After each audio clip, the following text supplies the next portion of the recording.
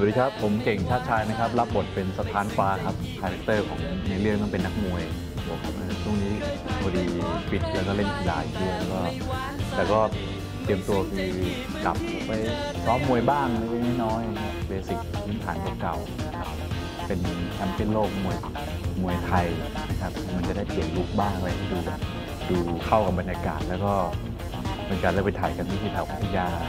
character เรื่องนี้ก็เหมือนใกล้เคียงกับตัวจริงนะครับ character เรื่องนี้ก็เป็นผู้ชายชอบเป็นนักกีฬาชอบในสิ่ง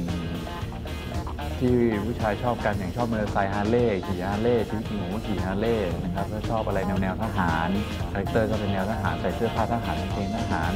accessory ก็จะเป็นทหารอะไรอย่างเงี้ยก็คล้าย ๆ กันตัวจริงหมดอะไรอย่างเงี้ย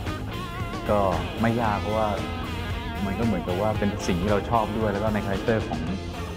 ของตัวแสดงเนี่ยเราก็ไม่ต้องไปบิดเบือนอะไรมันนี่คือเป็นตัวเรานั่นแหละต้องทำให้ถูกทุกอย่างไม่ว่าจะขึ้นเวทีอันนี้เป็นมวยไทยตั้งแต่การไหว้ครูการลำมวย อะไรทุกอย่าง detail ในการเกี่ยวกับมวยเนี่ยโชคดีมีมีก็เรียกมีก็มีเหมือนกับมีมีเทรนเนอร์ก็คือในสนามจริงๆอะไรเงี้ยคอยบอกเรื่องเล็กๆน้อยๆท่าที่ยากที่สุดเลยที่ที่บอกได้เลยว่าคุณเป็นนักมวยที่เก่งหรืออะไรก็คือจระเข้ฟาดหางซึ่งท่านี้มันเป็นท่าที่ยากและเป็นท่าที่แบบ คือมันเป็นท่าที่สวยด้วย มันมีความสวยงามและความเรียกรุนแรงในในในตัว ซึ่งท่าตรงนี้มันก็เหมือนกับต้องเป็นท่าที่ทุกคนต้องฝึกฝน ฝึกฝนตรงนี้ก็ผมคิดว่าตรงนี้ยากที่สุดสำหรับผมแนวของพี่ต้อมกับพี่โน้ตอุดมก็คือสองคนนี้มาบวกกันทั้งมีทั้งความสนุกสนุกสนานนะครับหัวเราะ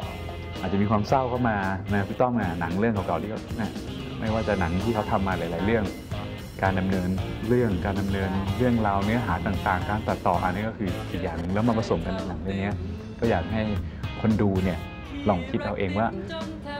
น่าจะเป็นยังไงเป็นหนังที่มีคุณภาพแน่นอน